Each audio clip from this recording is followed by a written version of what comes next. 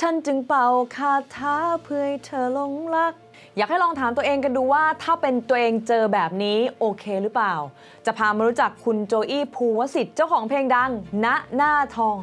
หลังชาวเน็ตถกเดือด กรณีที่คุณโจอี้ถูกแฟนเพลงปาเงินใส่หน้าค่ะ พามาดูคลิปเต็มมันก่อนคลิปนี้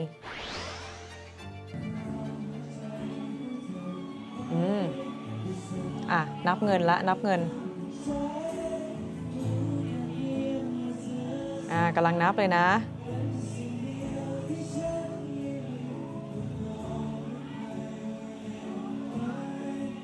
โอ้อุ้ยอ๋อโห ถึงกับต้องยกมือไหว้เลย อืมอ่าตอนเห็นคลิปนี้ครั้งแรกผมก็บอกว่าตกใจเหมือนกันนะ เออ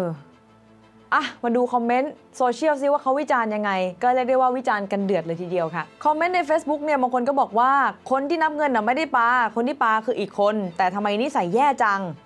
เรา FC โจอี้มีเงินอย่างเดียวไม่พอต้องมารยาทสามด้วย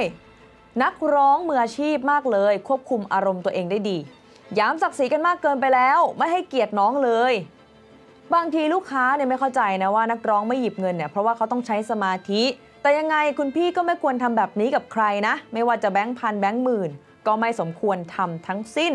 ที่เหลือมีเยอะกว่านี้ก็ไปตามอ่านกันเอาเอง แน่นอนนะคะว่าคอมเมนต์ทั้งจาก FC แล้วก็จากบรรดาแฟนเพลงหรือว่าชาวเน็ตนะคะก็รู้สึกเป็นห่วงสภาพจิตใจของคุณโจอี้เพราะว่าจากที่เห็นในคลิปเนี่ยเราจะเห็นเลยว่าหลังจากที่ถูกปาเงินใส่หน้าปุ๊บเนี่ยคุณโจอี้ก็หน้าเสียหน้าตึงเลยแต่ก็ยังมีสปิริตยังร้องเพลงทำการแสดงต่อจนจบนะคะ แต่จากที่เราเห็นก็คือว่าเขาจะเดินไปทางด้านซ้ายของเวที ก็คือไม่ได้มีปฏิสัมพันธ์กับคนที่เป็นคนให้เงินกลุ่มนั้นอีกเลยนั่นแหละ และล่าสุดนะคะคุณโจอี้ก็ได้โพสต์นะคะแสดงความรู้สึกของเขาหลังเกิดเหตุการณ์ที่เกิดขึ้นว่า คือให้มองในฐานะคนธรรมดาคนหนึ่งแล้วกันนะครับ อยากแก้เรารักกันให้เกียรติกันในฐานะคนธรรมดาคนหนึ่งก็พอครับ ขอบคุณทุกกำลังใจ ผมสบายดีทั้งกายและใจ หวังว่าพลังที่ผมมีจะส่งถึงเพื่อนๆ น้องๆนะครับ ฝันดีครับ เด็กเกเรกินดึก ก็คือพูดง่ายๆว่าเขาก็รู้สึกถึงเหตุการณ์ที่เกิดขึ้นแหละอยากให้มองกันเป็นคนธรรมดาคนหนึงเนี่ยคุณก็ควรที่จะให้เกียรติซึ่งกันและกัน แล้วก็มีความเห็นหนึ่งนะคะ จากเพื่อนนักร้องด้วยกันก็คือคุณเล็กพงศธหรือว่าคุณเล็ก The Voice แชมป์ซีซั่น7ก็ออกมาโพสต์ วิพากษ์วิจารณ์ถึงเหตุการณ์ที่เกิดขึ้นบอกว่า คือจริงๆเนี่ยการให้ทิปนักร้องมันดีอยู่แล้ว แต่พฤติกรรมแบบนี้มันไม่ให้เกียรติศิลปิน และมันดูแย่มากๆอะซึ่งในความเห็นส่วนตัวของเจ้าโอนะคะ จริงๆก่อนจะมาเป็นผู้ประกาศข่าวเนี่ยโอเคยเป็นนักร้อง AF มาก่อน เคยขึ้นเวทีโชว์แล้วก็เป็นนักร้องตามร้านอาหาร ผ่านหมดแล้วทั้งเรื่องของการให้ทิป หรือว่าการ entertain คนดู อันเนี้ยอย่างอย่างแรกเลยคือโอต้องชื่นชมสปิริตของคุณโจอี้ภูวศิษฐ์นะ ที่แม้จะเกิดเหตุการณ์ขึ้น แต่ว่าก็ไม่ได้แสดงอาการอะไรออกไป แล้วก็ยังโชว์ทำการแสดงจนจบค่ะ แต่ในใจลึกๆโอว่าก็มีความรู้สึกก็ต้องรู้สึกอยู่แหละว่ามันอาจจะดูเหมือนหยาม เหมือนไม่ให้เกียรติเขานะคะ ข้างในอาจจะเดือดเลยละ แน่นอนนะในมุมของนักร้องค่ะการให้ทิปเนี่ยมันเป็นสิ่งดี ก็มันเป็นกำลังใจให้กับพวกเราใช่ไหมแต่ว่าพวกเราเป็นนักร้องเป็นศิลปิน เป็นอาชีพหนึ่ง เป็นนัก entertain แต่พวกเราไม่ใช่ขอทานนะคะ ยังไงก็ควรที่จะปฏิบัติกันแบบในฐานะที่เป็นคนคนหนึ่งเหมือนที่คุณโจอี้บอก ให้เกียรติซึ่งกันและกัน การให้ทิปเป็นเรื่องดีค่ะ แต่ว่าสิ่งที่เราทุกคนควรมีโอว่า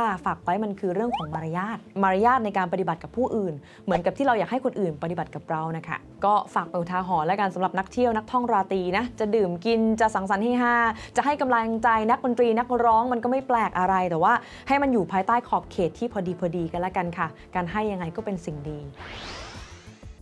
แต่สำหรับใครที่เพิ่งจะรู้จักคุณโจอี้ภูวศิษฐ์จากคลิปนี้นะคะ จริงๆ โออยากจะพามารู้จักเขาหน่อย เพราะว่าเขาเนี่ยเป็นหนุ่มร็อก สายเลือดอีสานขนานแท้ มีดีกรีเป็นถึงขั้นรองแชมป์ The Voice season 7กันเลยทีเดียว ปัจจุบันนะคะคุณโจอี้อายุ 27 ปีค่ะ เขามีความฝันว่าอยากจะเป็นนักร้อง ถึงขั้นยอมทิ้งอาชีพครูนะคะ แล้วก็มาทำตามฝัน จนสุดท้ายเนี่ยสามารถคว้าตำแหน่งรองแชมป์ The Voice season 7ในปี 2018 ได้สำเร็จค่ะ และด้วยความที่ในรายการเนี่ยอยู่ทีมคุณป๊อบ ปองกูลค่ะ หลังจากตามฝันแล้วเขาก็ถูกเชิญให้มาเป็นนักร้องในวง backup ของศิลปินดัง อยู่ไปอยู่มาสั่งสมประสบการณ์จนสุกงอมนะคะ ด้วยความที่มีความสามารถก็ถูกชักชวนให้มาทำเพลงกับค่ายดัง Genie Rock ออกเพลงแรกออกมาชื่อเพลงว่าดวงเดือน เพลงนี้เนี่ยก็เป็นเพลงที่ได้ยอดวิวปาเข้าไปหลักร้อยล้านเลยทีเดียวนะคะ